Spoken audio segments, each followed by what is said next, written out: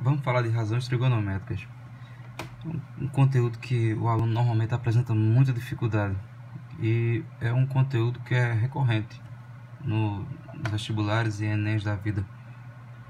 E eu sempre falo que a maior dificuldade, no meu ponto de vista, para o aprendizado adequado de razões trigonométricas está na, ligada à linguagem e à compreensão do que significam os conceitos. Então, razão trigonométrica são razões, são relações que há entre os três lados de um triângulo retângulo e é bom deixar claro que essas relações elas só podem ser feitas se o triângulo tiver o ângulo reto.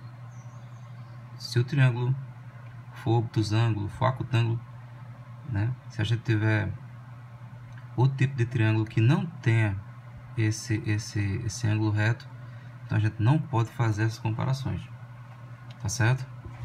Então, vamos inicialmente identificar o, que é o seno, o cosseno e a tangente, que são as razões trigonométricas, né? Que acabam sendo extraídas né, das relações aqui que há entre esses lados do, do, do triângulo, né? Então, o maior lado do triângulo retângulo é a hipotenusa. Ela é facilmente encontrada porque ela fica oposta ao maior ângulo do triângulo retângulo, que é o ângulo reto. Os outros lados, que aqui eu nomeei como A e B, eles recebem os nomes de catetos. E dependendo da sua posição e do ângulo estudado, a gente vai chamar ou de cateto oposto ou de cateto adjacente. Então, vamos escrever primeiramente as razões aqui ao lado. A gente sabe que o seno, como eu acabei de falar, é o cateto oposto dividido pela hipotenusa. O cosseno será o cateto adjacente ao ângulo dividido pela hipotenusa. E a tangente do ângulo é o cateto oposto dividido pelo cateto adjacente. Também há uma relação especial para a tangente que a gente estuda em trigonometria. A tangente também é o seno do ângulo, ele chama normalmente de seno de x, pelo cosseno de x. Isso aqui a gente estuda em trigonometria um pouco mais avançada. Mas é uma relação também que é válida. Nessa nossa aula hoje, a gente vai se limitar a esses três tipos aqui, seno, cosseno e tangente. Então, com relação ao ângulo alfa, vamos começar a estudar para a gente entender o que é que vem a ser o seno, cosseno e tangente dentro do triângulo retângulo. Então, eu, tenho, eu vou, eu vou fazer o estudo agora de forma separada.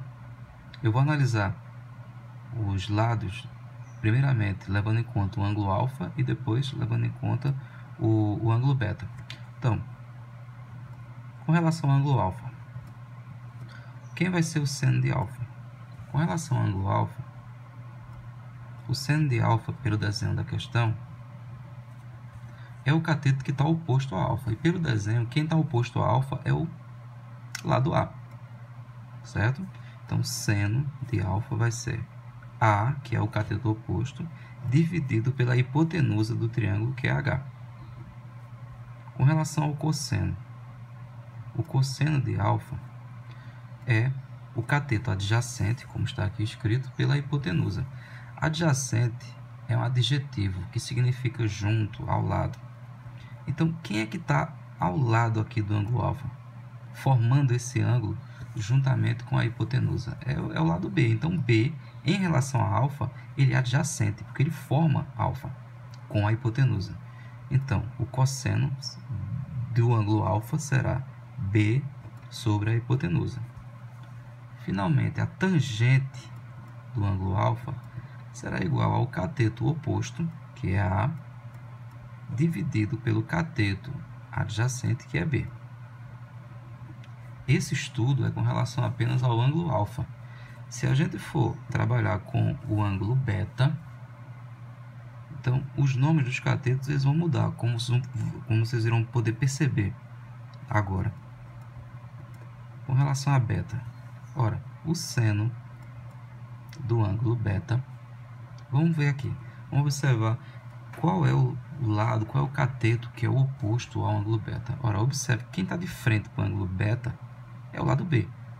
Então, B que em relação a alfa é cateto adjacente, em relação a beta, ele é cateto oposto. Então, B sobre a hipotenusa que não muda, né?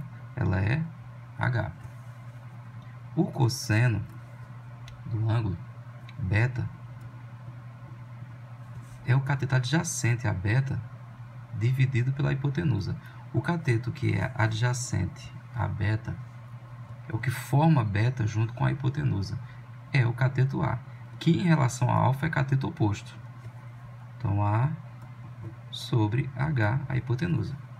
E, finalmente, a tangente de beta ela será igual ao cateto oposto a beta, que é B, pelo cateto é, adjacente a beta, que é A.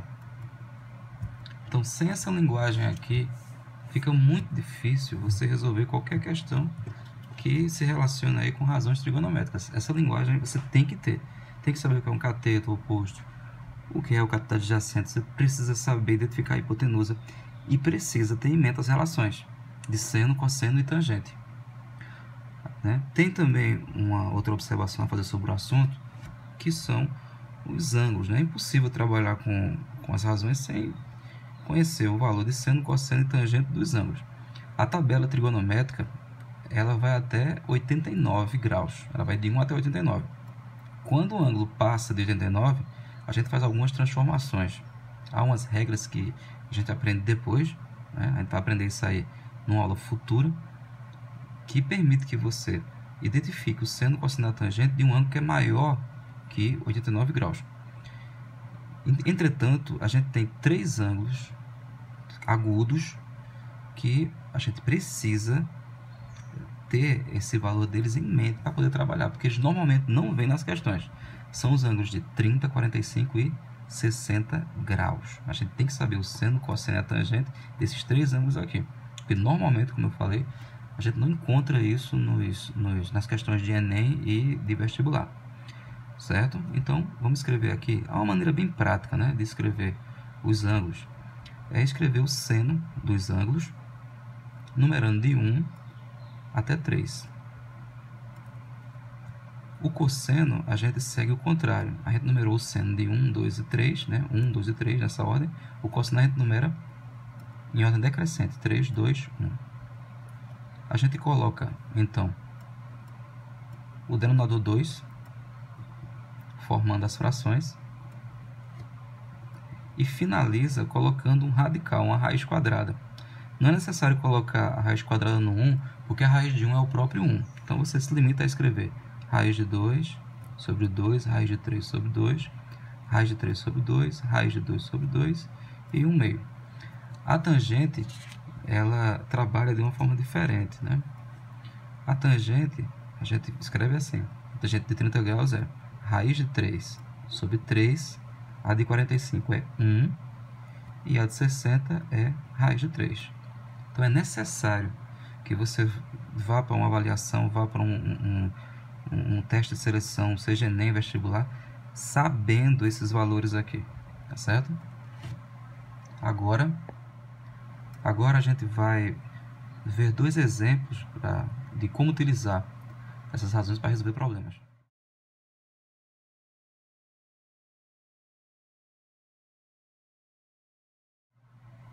Então vamos lá. Vamos determinar a altura que separa esse nível desse outro nível aqui do shopping. Então, o grande desafio para você é ler a questão identificar qual razão trigonométrica que você vai ter que utilizar. Tá certo? E esse talvez seja o maior desafio né, que o aluno enfrenta. Ler a questão, ter a, a, a sensibilidade de identificar qual é a razão que ele vai ter de usar para resolver. Então, é dado o ângulo de 30 graus, o comprimento da escada rolante, que é de 12 metros, e ele quer a altura. Então, vamos interpretar as informações que nos são fornecidas. O lado que é oposto ao ângulo reto é a hipotenusa, então é 12 metros. Tendo a hipotenusa, a gente já pode descartar a tangente, porque a tangente né, ela não trabalha com a hipotenusa. Só o seno e o cosseno é que trabalham com esse lado. Então, como tem a tangente e ele não dá o cateto adjacente, a gente vai ter que usar a tangente. Então, ou seno ou cosseno. Tá certo? Então, a gente pode dispensar já a tangente. Agora, vamos ver se vai ser o seno ou cosseno. O que é que é H? Né? H é o cateto oposto. eu acabei de falar que ele não forneceu o cateto adjacente. Isso aí também tira o cosseno como opção para resolver. Como a gente tem o cateto oposto ao ângulo, então a gente pode usar o seno. Então a gente vai ter o seno de 30 graus igual ao cateto oposto dividido pela hipotenusa. O seno de 30 graus pela tabela trigonométrica é 1 meio. O cateto oposto é h. E a hipotenusa do triângulo é 12. Então, a gente pode fazer a simplificação. 2 por 2 dá 1, 12 por 2 dá 6. E meio para o extremo, 1 vezes h, h, igual a 1 vezes 6 dá 6. Então, a gente conclui que a altura é de 6 metros.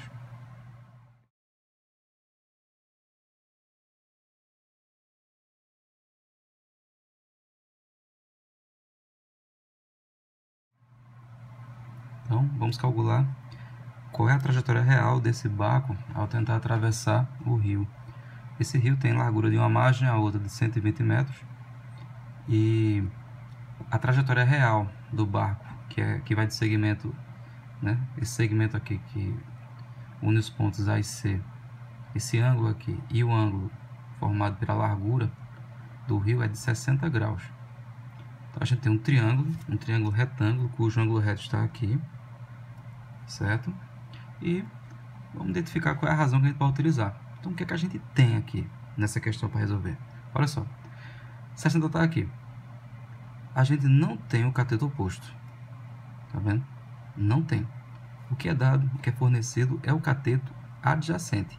E ele pede o quê? Ele pede o segmento AC, que é a hipotenusa do triângulo retângulo, porque está de frente para o ângulo reto.